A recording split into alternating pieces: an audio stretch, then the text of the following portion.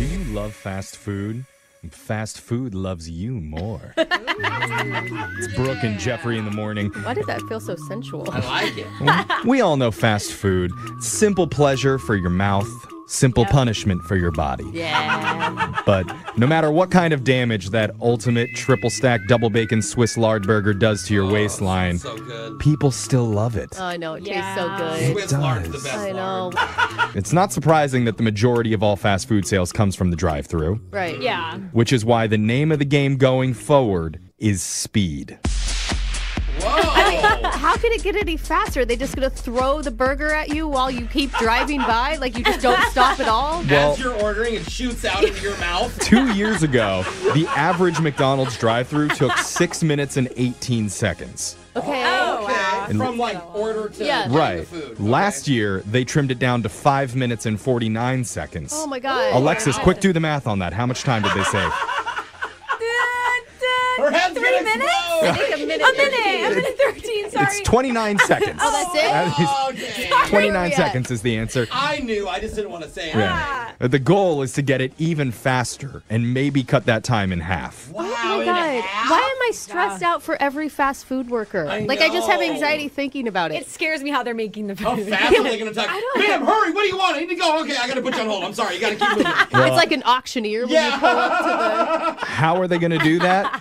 Well, if you've been to a Mickey D's lately, you may have noticed they've upgraded their drive throughs to have digital menu boards with pretty pictures of foods up on these fancy screens. And along with those screens, at least in certain cities, they've added an automated intelligence system. Oh my god, it's gonna predict your order. Is that what you're telling me? Well, so instead of pulling up and hearing like,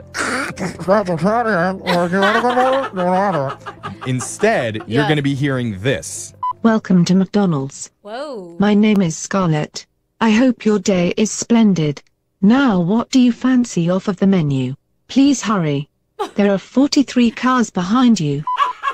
I don't like Scarlett. It's like ordering from a saucy British Alexa. No. Except Yeah. Scarlett talks slow and then tells you to order fast. Yeah. That's not really what is there. That's just an Oh. example of what it might sound like. Oh, it's going to be an automated could have system, prefaced with an automated Jeffrey. voice. That's nice for the workers. Just imagine you pull up through the drive-through, you see the traditional menu board Okay. up there, Okay, okay. and then once you order, the entire screen dissolves into a picture of a giant chicken sandwich. Oh. That's and it nice and it just asks you, would you like to add this to your order for an Oh my- extra two dollars? That would work. That would work with me. I, It's thi- I visualize it. I'm like, yeah. I Yeah. think sure. The automated ordering systems will even consider the weather and the time of day when they're suggesting what you should get. Meaning, if it's below a certain temperature outside, the automated voice might suggest a cup of chili instead of suggesting a side of ice cream. Makes Well, sense. it'll never suggest ice cream because the machine's always broken. Yeah.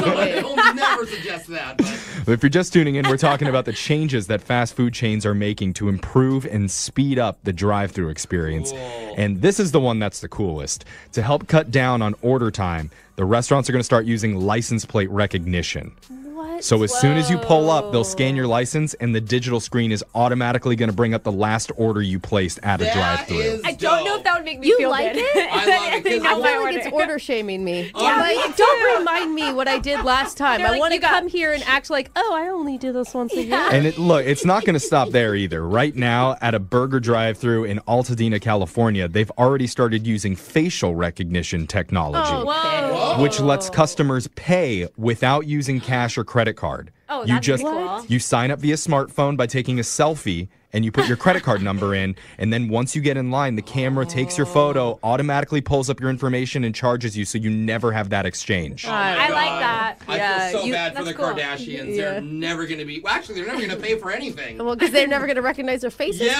Yeah. they keep changing. I mean, the thing is, what if your face pops up and it's like too poor? I don't know. you don't have enough money in your I hope account. that's Bro, not don't project like Yeah. you're ever going to be too poor That to, is not your to problem. get a fast food burger. It used to be. Well, the facial Long time ago. recognition technology, while it's pretty amazing, like we're finding out, is not very popular with the older generation. Okay. Yeah, the the boomers. Apparently, there's a lot of concerns over privacy with the older folks. yeah. Well, And that younger piece is- generations don't seem to care because they're already posting 40 selfies a day. Yeah, government's already tracking me. I have nothing don't to care. hide. I Go mean, that Use piece is so silly, honestly. Yeah. It's like all the information. Oh, information now you're is trying out to act there. young. You You know, know? I hate the robots, I but like the robots now. information stuff. Uh, I mean, What if- I'm sure that my that credit card has been stolen three times since this segment started. Like I mentioned, this isn't far off future developments that's years away. This stuff is already happening, and they're quietly testing these out at select locations throughout North America.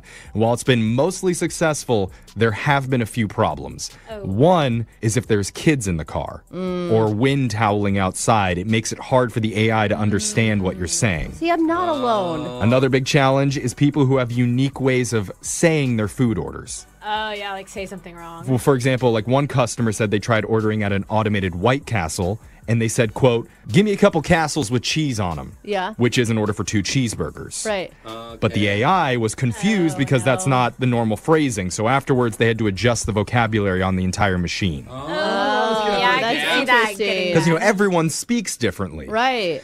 So now you might be wondering, what about the future of fast food drive throughs 10, 15, 20 years from now? Okay. One economist at MIT said, forget all human interaction. Because in a few years, you'll order through the AI digital screen, and instead of being handed food by an employee, an automated conveyor belt will drop your meal directly through the sunroof. Through the sunroof. Yeah. it's raining French fries. yeah, just just imagine it. Imagine this. Your burger will be dropping through your sunroof in exactly 4.3.2.1. Look out below. Better be ready to catch that milkshake. Oh, it's everywhere. That's Funny. I don't know. I'm excited for it. Text Yeah. into 78592. What do you think about the future of automated drive through technology? Your phone tap's coming up. Right